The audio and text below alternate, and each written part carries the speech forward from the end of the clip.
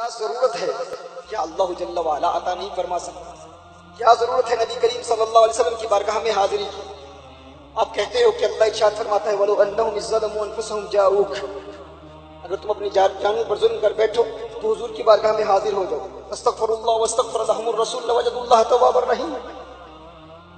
تم حضور کی بارگاہ میں حاضر ہو کر استغفار کرو۔ تو اس کی ضرورت کیا ہے جب اللہ جل وعلا خود مغفرت مغفرت فرماتا ہے؟ تو حضور کی بارگاہ میں حاضری کی ضرورت کیا ہے؟ یہ احتیاج کی یاد رکھیے، ایک قانون یاد کر لیجیے، ایک اصول یاد کر لیجیے، ایک ضابطہ یاد کر لیجیے۔ ایک اللہ جل وعلا کی قدرت ہے، جسے ہم سب مانتے ہیں، اس کا کوئی انکار نہیں کرتا۔ اور ایک اللہ کا قانون ہے۔ ایک اللہ کی قدرت ہے اور ایک اللہ کا قانون ہے۔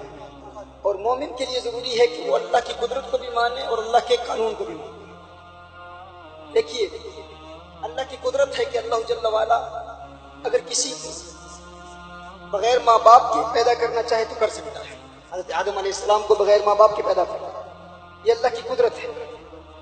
اسی طرح اللہ جل وعلا اگر چاہے تو کسی کو باپ کے بغیر دنیا میں پیدا کر۔ دے حضرت عیسیٰ علیہ السلام کو والد کے بغیر پیدا فرما دے۔ حضرت حوا علیہ السلام کی مثال بھی پیش کی جا سکتی ہے۔ اگر اللہ جل وعلا چاہے تو ماں باپ کے بغیر بھی پیدا کر سکتا ہے۔ یہ اللہ کی قدرت ہے۔ اگر اللہ چاہے باپ کے بغیر بھی پیدا کر سکتا ہے، یہ اللہ کی قدرت ہے۔ اگر اللہ چاہے ماں کے بغیر بھی پیدا کر سکتا ہے، یہ اللہ کی قدرت ہے۔ لیکن یہ اللہ کا قانون نہیں ہے۔ اللہ کی قدرت ہے، اللہ کا قانون نہیں ہے۔ یعنی اگر کوئی شخص کہے کہ میں شادی نہیں کرتا، میرا رب اس بات پر قادر ہے، وہ قادر مطلق ہے، اگر چاہے تو مجھے اولاد عطا فرما دے۔ اگر چاہے تو مجھے اولاد عطا فرما دے۔ یا شادی کے بعد اپنی زوجہ کے ساتھ اس دواجی تعلقات قائم نہیں کروں گا، کیوں؟ کیونکہ میرا رب قادر ہے وہ چاہے تو مجھے اولاد عطا فرما دے، وہ اولاد عطا فرما سکتا ہے۔ تو اس کا جواب یہی ہے، ہر چند کے اللہ جل وعلا قادر ہے، لیکن یہ اللہ کی قدرت ہے۔ اللہ کا قانون نہیں ہے۔ اللہ کا قانون نہیں ہے۔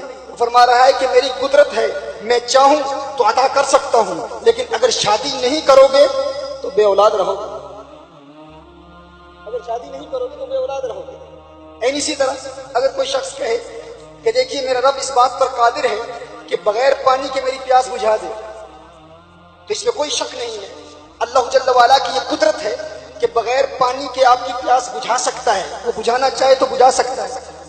کہے کہ میں پانی پیتا ہی نہیں، کیوں؟ کیونکہ میرا رب اس بات پر قادر ہے کہ بغیر پانی کے میری پیاس بجھا دے، تو وہ فرماتا ہے یہ میری قدرت ہے۔ مومن کے لیے یہ ضروری ہے کہ وہ قدرت بھی مانے، قانون بھی مانے۔ قدرت یہ ہے کہ میں چاہوں تو بغیر پانی کے تمہاری پیاس بجھا سکتا ہوں، لیکن بجھاؤں گا اسی صورت میں جب تم پانی پیو گے۔ اگر پانی پیو گے نہیں تو پیاسے رہو۔ یہ اللہ کی قدرت ہے۔ اگر کوئی شخص کہے کہ میں اللہ کی قدرت کو ماننے والا ہوں وہ قادر مطلق ہے میں اس کی قدرت کو مانتا ہوں۔ میرا یہ عقیدہ ہے کہ وہ بغیر کھانے کے میری بھوک مٹا سکتا ہے۔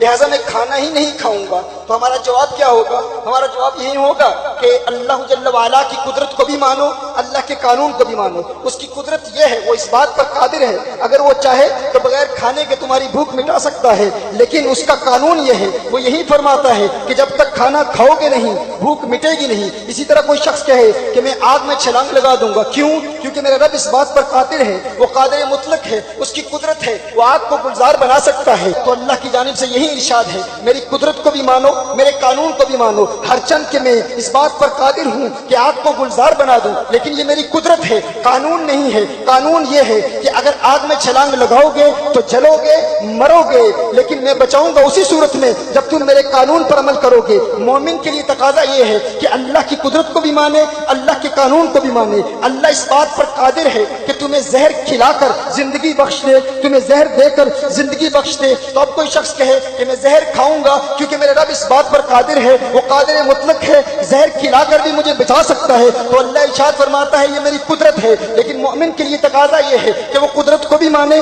قانون کو بھی مانے۔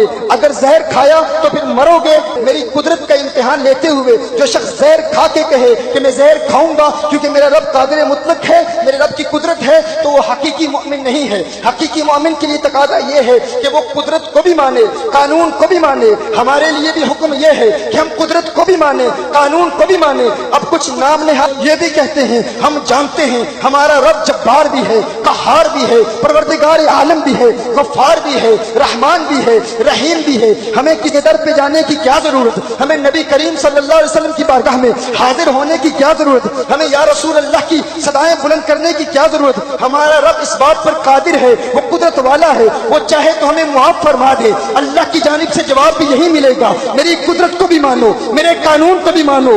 ہاں میں قادر ہوں اس بات پر، جسے چاہوں معاف فرما دوں، جسے چاہوں مغفرت کا پروانہ مل جائے۔ لیکن معاف کروں گا اسے جو میرے قانون کو مانے۔ اور قانون یہ ہے کہ اگر میرے محبوب کی بارگاہ میں تم نے حاضری کا شرط حاصل نہیں کیا، اور اگر میرے محبوب کی گستاخی کی، اور اگر وسیلے کا انکار کیا، میرے محبوب کی توہین کی تو رات دن اللہ اللہ کا ورد کرتے رہو، تبلیغیں کرتے رہو، دین کی دعوت دیتے رہو، درس قرآن دیتے رہو، درس حدیث دیتے رہو، لوگوں کو دین کی طرف راغب کرتے رہو، دین اسلام کی تعلیمات کا پرچار کرتے رہو۔ تم کہو میں خطیب اعظم ہوں، تم کہو میں مفتی اعظم ہوں، تم کہو میں محدث ہوں، تم کہو میں محقق ہوں میں نمازی ہوں، تم کہو کہ میں جہادی ہوں، تم کہو کہ میں غازی ہوں، تم کہو کہ میں مجاہد ہوں، سب کچھ کرو، ہر عمل تمہارے منہ پہ مارا جائے گا، کیونکہ یہ اللہ کا اصول ہے، یہ اللہ کی تقسیم ہے، جس کو بریلی کے مجاہد نے بیان کیا، کہا انا آتے کل کوثر، ساری کثرت باتیں یہ ہیں۔ رب ہے موتی یہ ہے قاسم۔ رزق اس کا ہے، کھلاتے یہ ہیں۔ اور ٹھنڈا ٹھنڈا، میٹھا میٹھا پیتے ہمیں پلاتے یہ ہیں۔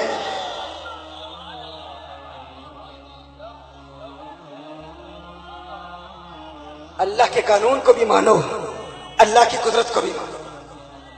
ہم اللہ کے قانون کو بھی مانتے ہیں، اللہ کی قدرت کو بھی مانتے ہیں۔ اسی لیے حضور اکرم صلی اللہ علیہ وسلم کی بارگاہ میں حاضری کا شرف حاصل کرتے ہیں اور اسی لیے اعتقاد رکھتے ہیں۔